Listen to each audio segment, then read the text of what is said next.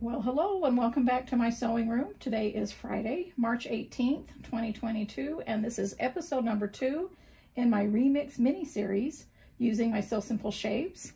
And so last month I introduced you to this um, mini series and we're going to be doing it for 10 months, so nine more months until November.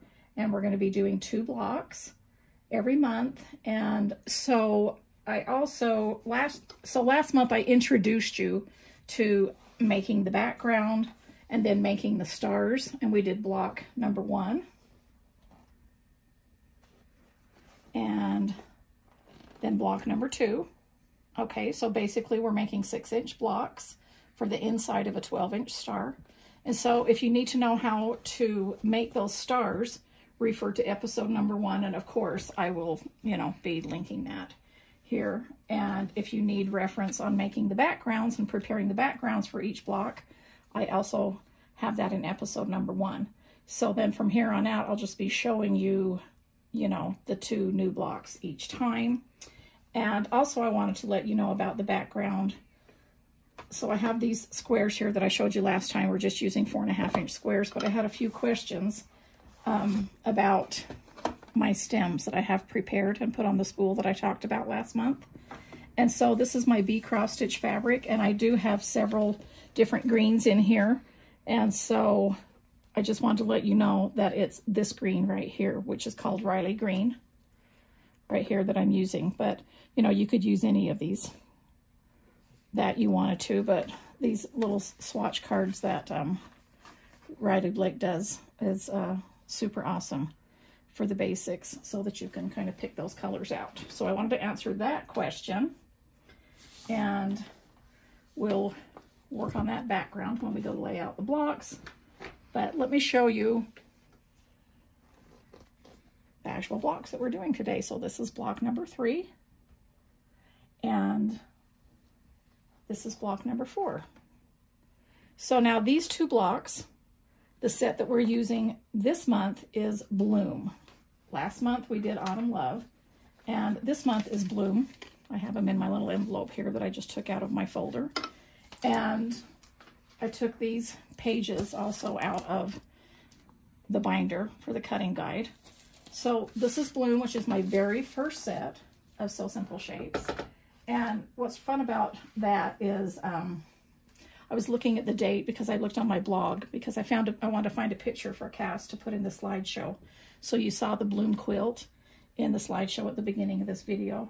And I kind of wanted to see the date. And it was in 2016, which means I designed them in 2015, which was, I mean, I mean, we're talking seven years ago. So uh, that's kind of cool. So you can see that this is set A because that's what I started out with.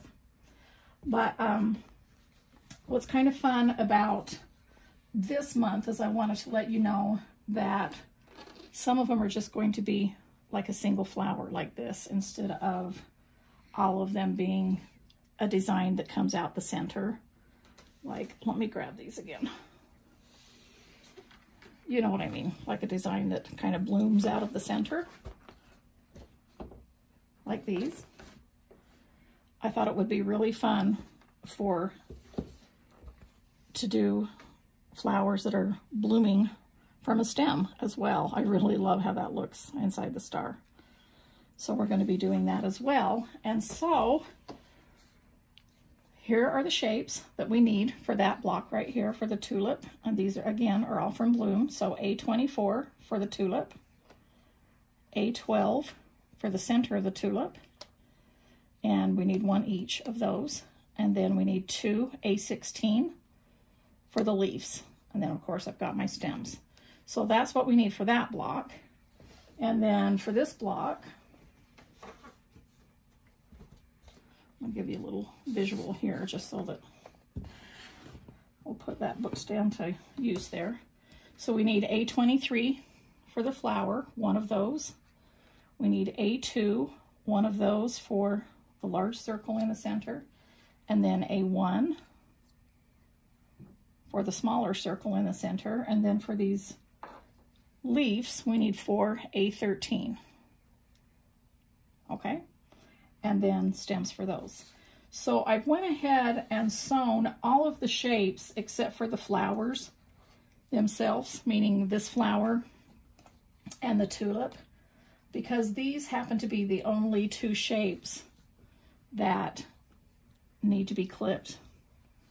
After turning all of these other shapes, there's no inner curves or cleavage areas or Y areas in those, and so they're just easy sew and, you know, just stitch right on the line. So I thought we could just start by doing these, and again, just if you're new and you're just tuning in and you've never used my method before, this is my sewing interfacing, and I take the shape and trace right on it.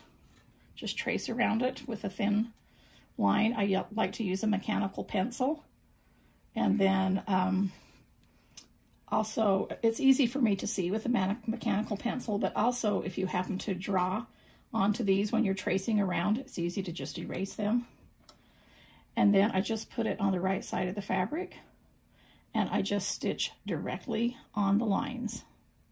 Okay, and then I'm just gonna sew over where I start. And so I just, let me pull this machine over just a little bit closer. So I just begin sewing in using a smaller stitch. If you're having um, problems with when you are shaping and um, you're poking a lot of holes and you feel like you're not pushing too hard, then I would definitely say shorten your stitch. And if you're really having a lot of problems, I mean, everybody does it differently. You can a lot of people, you know, maybe um, shape theirs a little bit um, stronger or have a little bit lighter touch. But if you feel like you don't have a light enough touch and you and you are poking a few holes here and there, I would just shorten the stitch and then maybe sew around the shape twice and so that you can just strengthen it a little bit. Okay, because I have to sew far away from these, I'm going to grab a pair of my readers so I can see what see what I'm doing here. And so I like to use a, an open-toed foot or some kind of a foot, speaking of seeing what I'm doing, so that I can see the line that I'm sewing on right as I'm sewing. And so I don't have to worry about guessing if I'm on the line or not. And what I do is just slow down when I get to the curves. And I can go faster. And as I've said before, just like driving,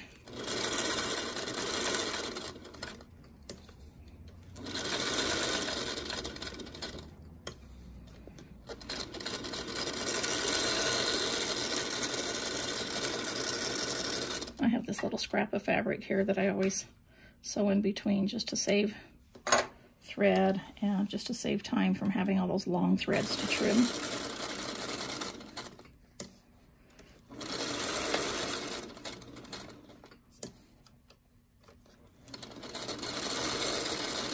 Okay, so I started right here, and so I'm just going to over sew by about an inch or a half inch. And then I'm just going to sew right off of it. And just, here's my tulip piece right here. And I can just start that anywhere. I don't like to start on a point. I usually just start it anywhere until I get to the line. And then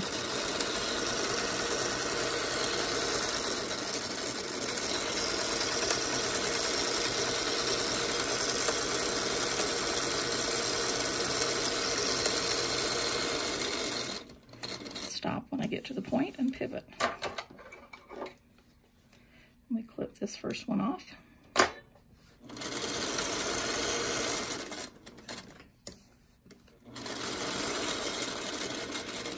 So again, I'm kind of sewing um, far away, meaning, you know, my eyes are clear back here, my head's clear back here. But normally when I'm sewing, I am a little bit closer so I can see exactly what I'm doing.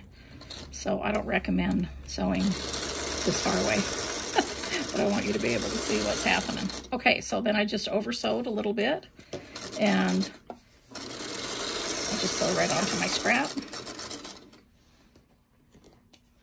So then I'll just grab some scissors and I will just cut past my sewing line an approximate quarter inch seam or smaller. And when I get to these points, I can trim a little bit closer, but I don't want to get real close to them. But, you know, you can kind of clip off those points a little bit to redu reduce some bulk. And so I'm just trimming around here. Going to do the same thing with this little aqua flower here.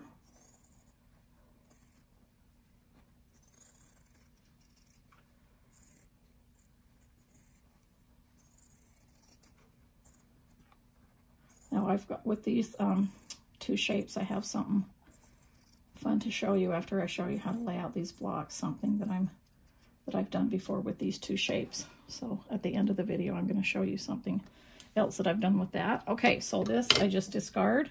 And then before I can turn these, in order for them to lie flat, I need to clip all the way to the thread, not into the thread or past it, but just one clip. I don't need to make a bunch of clips or anything, just one clip because when we turn that, we want that to lie flat. And so these are typically in, in the applique world just called cleavage areas, okay? So that's what that looks like. And then in here, I've just got two of those that I need to clip. Anything that's an outer curve, you don't need to clip. It's not going to hurt it if you clip it, certainly, but it's, you know, you don't need to, so I just don't, I don't do that. Okay, so then you can just kind of tear away your backing or use a seam ripper. When I said tear away, I meant pull away my backing, don't tear it. And pull it away so that it's not by my fabric so that I can just cut a little X in there. Again, pull away and then just make a little clip right there.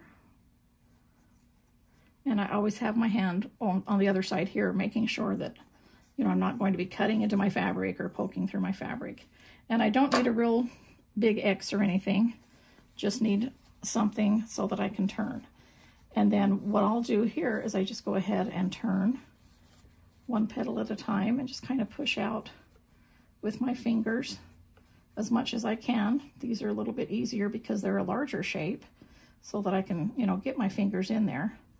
But when I can't get my fingers in there at this point, I use I use this turner even to help me turn without shaping. So once they're turned like this, I keep my interfacing side to me and I will take this and just gently push out. And I like to keep this between my thumb and fingers here, and that helps me to press them when I've, when I've, you know, shaped them the way that I want to. And so I'm just, this is the shaping part, and this is important. It's important to have a good tool for this. And I really like this um, Clover point-to-point -point turner. I, I've tried many, many of them and new ones when they come out on the market and different things like that, but for some reason I just really like this one the best. Okay, so when I get to that point, that's what it looks like. So I know that these are all pushed out, meaning I can see my stitching lines.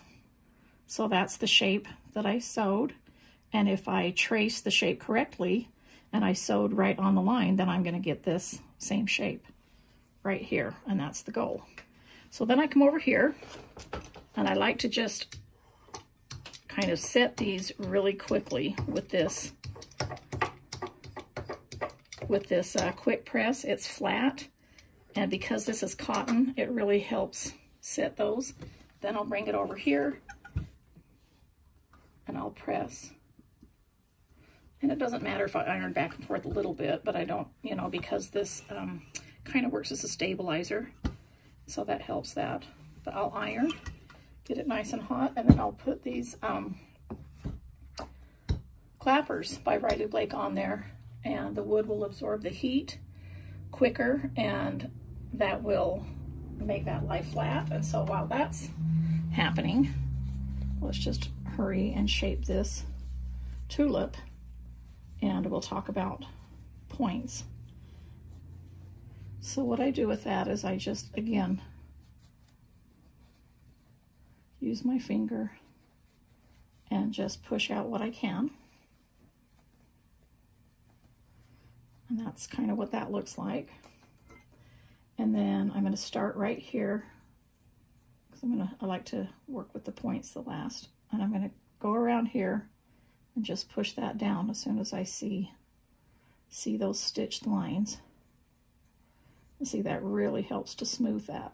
Now, when I get to these points, I'll push out a little bit. This is where you want to be careful and not really push hard. But then I'd like to turn sideways and use that seam allowance bulk to kind of push out that point. This one doesn't have a real pointy point as much as the side ones do. And so I work with those a little bit more. And I'm just kind of gently pushing on the seam allowance part to get it up there so that I'm not poking into the interfacing. And then I'll make sure that this is just unfolded like that. That's what that looks like. And again, I just come over here and roll these edges. And I love the way how cotton just does that crease. I mean, you can see I've got creases in there already just from when I turned it. But now that I've pressed those edges down with the roller, I can take this and now the iron will get all those little creases out. And even though I'm sliding back and forth, you can see that I'm still kind of going like this instead of holding my hand and going back and forth this way. I'm really trying to press it from the center out, if that makes sense. And then I just lay them on there and let them cool. That's what that looks like. Now, if we hadn't a clip there, these would not be able to lie flat. And so all right, so now I'm going to take this background that I showed you here and just let that cool for a second. And I'm just going to lay out, you know, show you how I lay out the um, both of these blocks on. I just prepared one background. I won't glue it down. I'll just pin it down and um, show you how I do it and give you a little, a few little hints on that. And so I'll be back because I'm going to move all this stuff over to the work table. Okay, so here we are with the tulip pieces. Now, when I have a piece like this that is layered on top of this one, then a lot of times I'll just go ahead and glue that first. And so when I'm gluing, so I use this Sue glue, I usually just do a little drop like this at a time. A little dot, drop, whatever you want to call it. But basically what I'm doing is taking place of a pin. And they're that far apart, and they're also about a quarter inch away from the edge because I don't want to get onto my edge so that I can applicate that edge, and it's not really necessary, you know, to get it onto the edge. And so what I do here now is I'm just going to, this is going to hang over a little bit, and I'm just going to center it right like there. And I just thought it was, was cute to make that shape that way I could obviously just have used that tulip, but I liked how using a different shape from the set on top of it just gave it a little bit of a different look, okay? Now, because I'm gonna, because I was, I only did one background, so I'm gonna, I'm gonna rub this glue off because I don't want it to glue real heavy on there because I'm gonna remove these pieces after I pin them so that I can show you the second one. And so what I'm doing with this is I'm just going to lay this here and I want the points.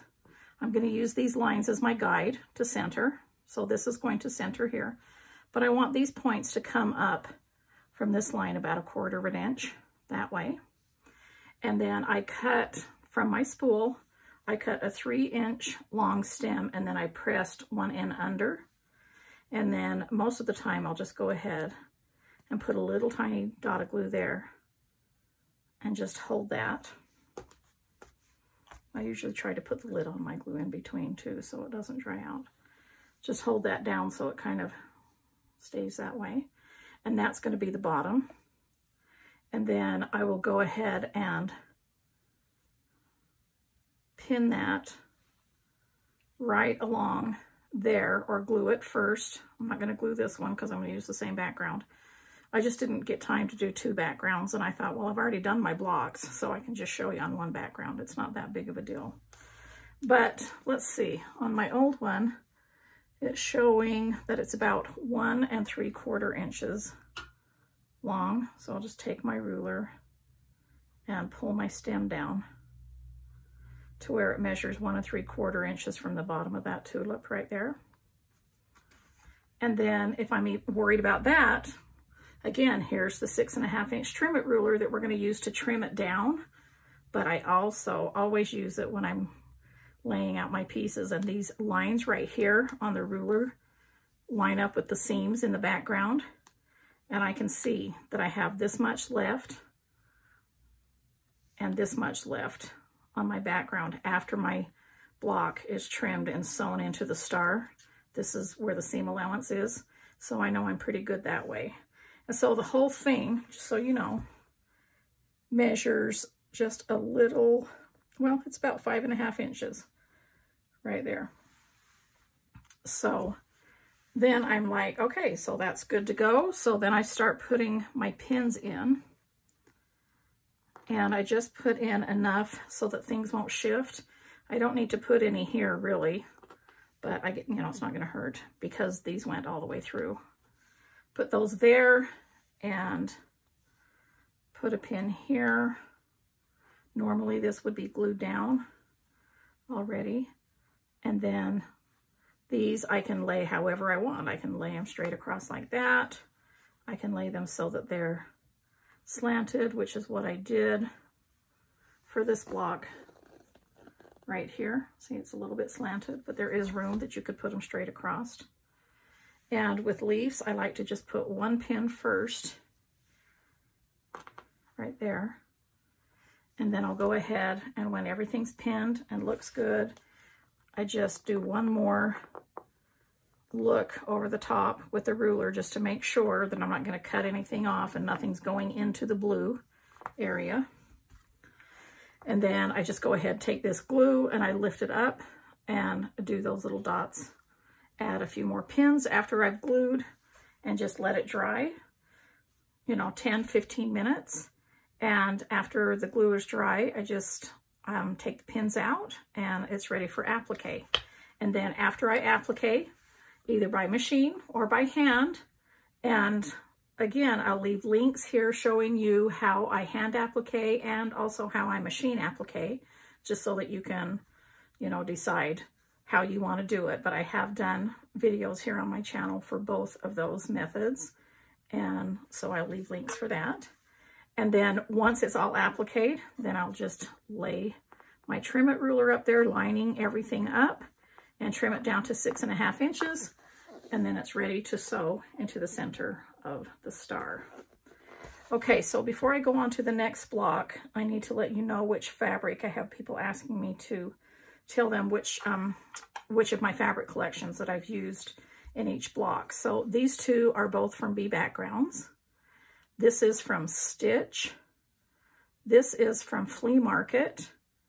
And this is from Granny Chic.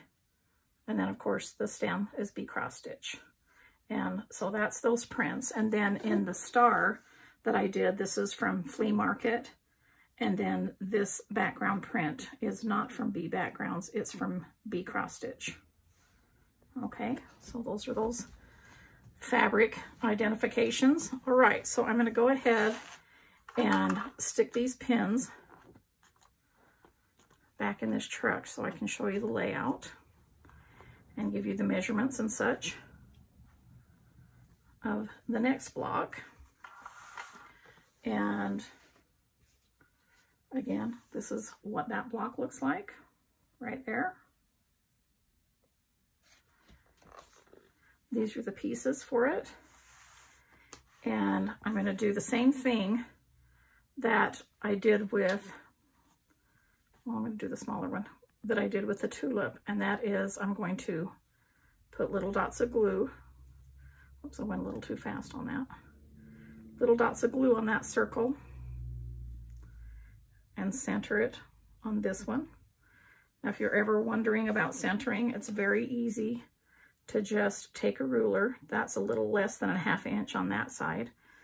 And this is a half inch on this side. So that means I'm just gonna smush it over just a little bit. And that just kind of helps me to get that centered. And then, same thing, I'm just don't squeeze very hard. I just kind of let the glue kind of flow out on its own because you really just don't need much glue. This glue is water soluble if you get too much glue and you can remove it. If it dries, you can pull it off gently and reposition if you need to. Okay, so now I've got that flower all ready to go. And then it can go there. just going to kind of sort of lay these in the corners where they're going to go. I did mine with the points going in, but you could always change it up if you wanted to and make the points go out. So I cut four pieces, one and a half inches long. And I don't need to, I didn't need to press any edges under for that. And so what I'm going to do with this is go ahead and center this using the lines here in the fabric and using these little um, cleavage areas right there. That's perfect to line those up. So you can just place a pin. Now I know that this block for sure is in the center because I have these lines on the background. And again, you could cut a piece of background like eight inches square and then just press it like diagonally in this way so that you have those crease lines. And I, I do that as well too, but I really want to do this series with these um, different backgrounds because I think it just adds a lot of personality and I like to do that to add dimension. And so then I'll, what I'll do here is go ahead and tuck these under. And once again, I have that seam to line things up. Now you're not gonna have a lot of stem showing on these. It's not gonna be very long, but it's enough to, you know, give you that fun. Oh wait, I just look, okay, I just realized something. Okay, look at this block. See how the cleavage areas are here where the stems come out? And this one, I twisted the flower differently. So uh, what I'm going to do is I'm going to untwist it and go back the other way because I realized the reason I didn't do it this way is because I didn't feel like it gave enough room for my leaves. I wanted my leaves to come down into those areas. And so I'm going to go ahead and line up, still lining up the lines in these cleavage areas, but it's the diagonal lines. All right. How many of you guys caught that before I did? All right, now back to back to that. See what I mean? Because you don't show much of that stem right there. That's what it would look like if you turn it around the other way with the points going out. I think it looks cute either way. So maybe for this layout, I'll just do it with the points out just so that you can see the difference. And that might help you decide on how you want it to do yours. But as I'm measuring these right here, I think, if I remember right, yeah, it was a half inch long is all that's showing from these stems. So not very much. Okay, so normally I'd be gluing these down here. And then I take my little ruler and I just lay it there a half inch and lay that down at the half inch mark right there. And that point goes on the line here. Okay. I'm going to eyeball it and then measure it. Got to bring it down a little bit. Okay. Stick another pin in it there. Making sure these are on the center.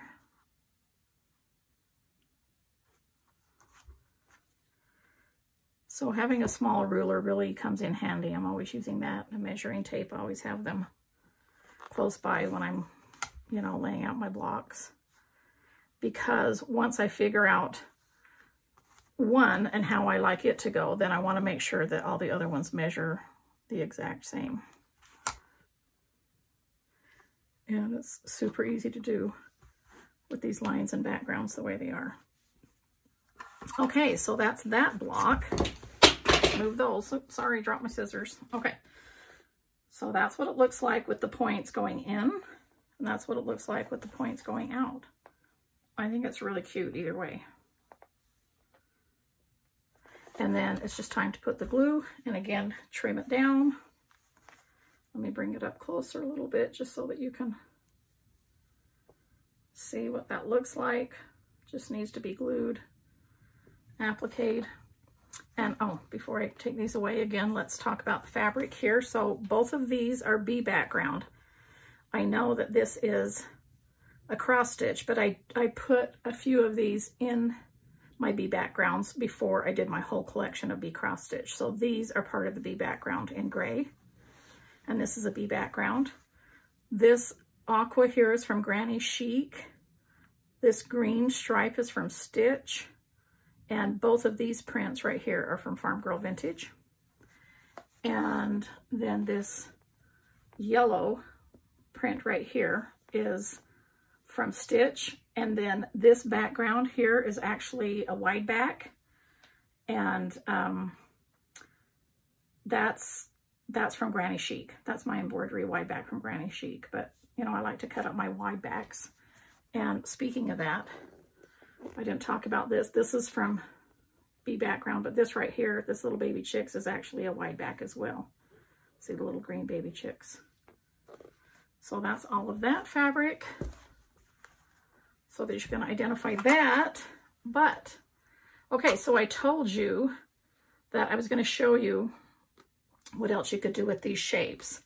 So clear back when I did uh, the Bloom Sew Along, which I still can't believe it's been that long. Thank you, everybody, for your support of my Sew Simple Shapes clear back six, seven years ago when I was doing them. So I want to show you that you can do patchwork ones. You know what? I'm going to pull I'm going to pull this design board. Sis, will you take those pins out so I can use that design board so you guys can see this? But I wanted to show you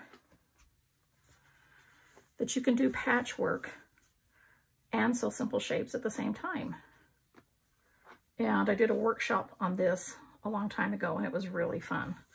So first, let's just talk about this shape. All right.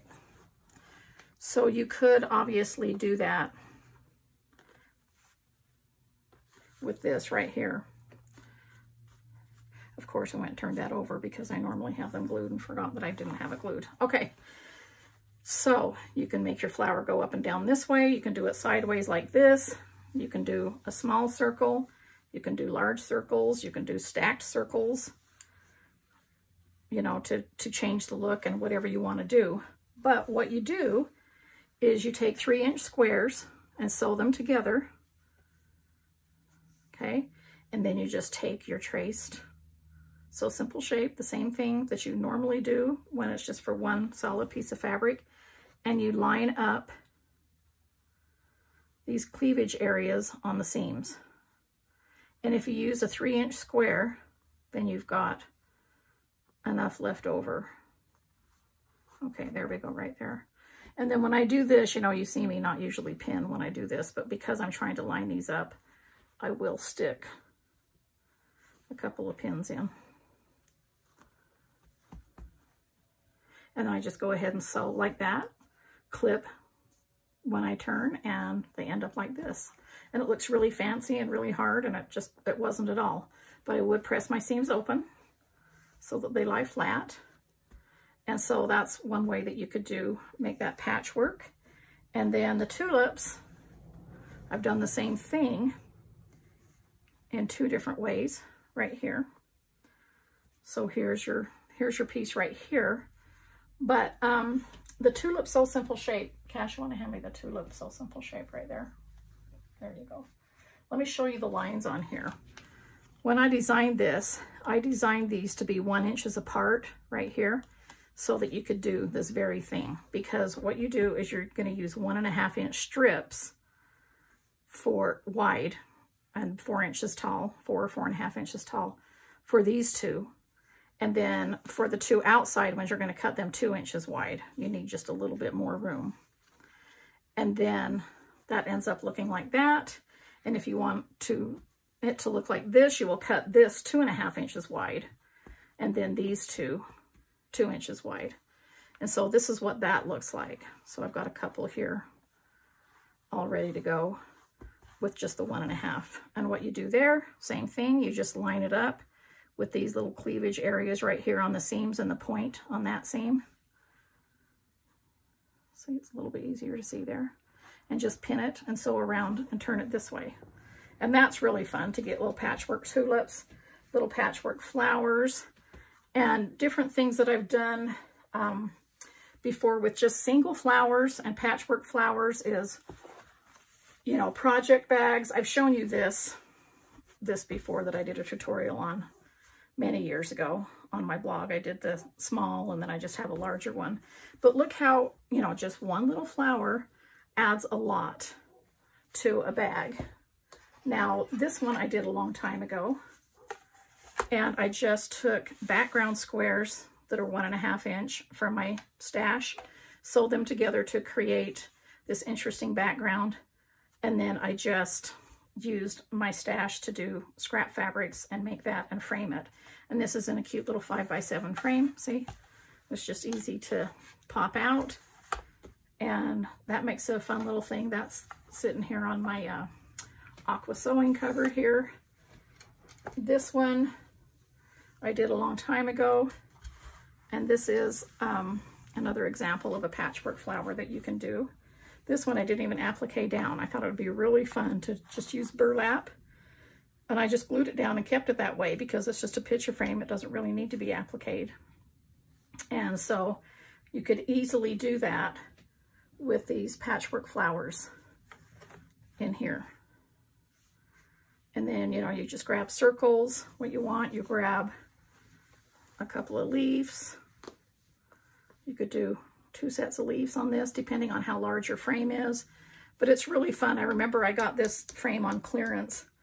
I think it was at Joann's, actually, like years ago. And I, I don't know why I remember getting it, because, but I loved it. And I think I paid like $1.99 or something for it. And when I bought it, I saw in my mind uh, a little Sew Simple Shape patchwork flower in there. And so you can just be creative with these different things. And here's a bigger project bag that my friend Annette, hi Annette, made for me using my flea market flower. Now that's made with my pie ruler, but it's the same thing. And then these are shapes as well. But you can do piecing and applique at the same time.